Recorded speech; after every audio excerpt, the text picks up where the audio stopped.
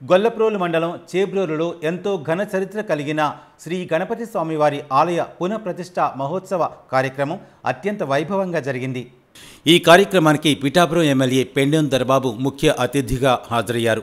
ముందుగా MLA Dorababu Gollaprolu ZPTC Ulavakayala Lovaraju కలిసి గణపతి స్వామి వారికి ప్రత్యేక పూజలు నిర్వహించారు. అనంతరం ఆలయ ప్రతిష్ట మహోత్సవంలో పాల్గొన్నారు. ఈ సందర్భంగా ఎమ్మెల్యే దొరబాబు కొబ్బరికాయ కొట్టి పనులు ప్రారంభించారు. అనంతరం జెడ్పీటీసీ ఉలవకాయల లోవరాజు ఆధ్వర్యంలో ఎమ్మెల్యే దొరబాబును ఘనంగా సన్మానించారు. ఈ సందర్భంగా జెడ్పీటీసీ ఉలవకాయల లోవరాజు ఎమ్మెల్యే దొరబాబు మీడియాతో మాట్లాడారు. ఈ కార్యక్రమంలో భక్తులు గ్రామ పెద్దలు గణపతి ఆలయ కమిటీ సభ్యులు పాల్గొన్నారు. మరి ఎమ్మెల్యే పిండం దొరబాబు గారి ఆశీస్సులు మరి గ్రామ పెద్దల ఆంధ్ర ఆశీస్సులతో ఈరోజు శంకుస్థాపన కార్యక్రమం నిర్వహించడం జరుగుతుంది.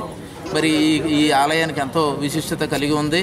మరి ఈ వినాయకుడు మరి కోరిన కోరికలు తీర్చే వినాయకుడిగా మరి గ్రామ ప్రజలతో పాటు చుట్టుపక్కల గ్రామ ప్రజలు కూడా విశ్వసిస్తున్నారు.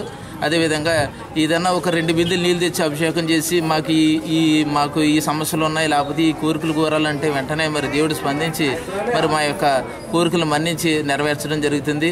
మా యొక్క మా గ్రామ వెల ఎలవెలిపోయినటువంటి ఈ గణనాథుని విగ్రహం ఈ రోజు విగ్రహానికి ఈ రోజున ఆలయ పునర్నిర్మాణంలో భాగంగా నూతన ఆలయం నిర్మించుకోవడానికి మాకు ఈ రోజున గ్రామ పెద్దలు మరియు మా శాసనసభ్యులు మా గురువులు పిండం దొరబాబు గారు కూడా ఎంతో సహకారం చేశారు.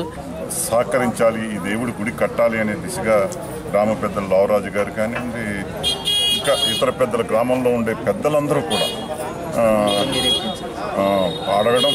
దాంట్లో భాగంగా సీజీఎఫ్ ద్వారా కానీ టీటీడీ ద్వారా కానీ మనం ప్రయత్నం చేద్దామని చెప్పడం. ఆ దిశగా టీటీడీకి వైవి సుబ్బారెడ్డి గారికి ఇవ్వడం జరిగింది. అధికారులు కూడా వచ్చి ఇప్పటికే చూడడం జరిగింది. కానీ టీటీడీ నుంచి వచ్చేది పది లక్షలే. వస్తుంది. అది కాకుండా సీజీఎఫ్ నుంచి కూడా దీనికి అంటే థర్టీ త్రీ పర్సెంట్ కంట్రిబ్యూషన్ కట్టవలసిన పరిస్థితులు ఉంటాయి. ఆ దిశగా కూడా ఈ ఈ గుడిని పునర్నిర్మాణానికి మేము సహకరిస్తామని చెప్పేసి ఈ ఈ ప్రజలందరూ కూడా మెచ్చుకునే విధంగా ఈ ఈ ఈ గ్రామంలో ఈ వినాయకుడి గుడిని ఆధునీకరించడానికి పూర్తి సహకారం ఇస్తానని చెప్పి తెలియజేస్తాను.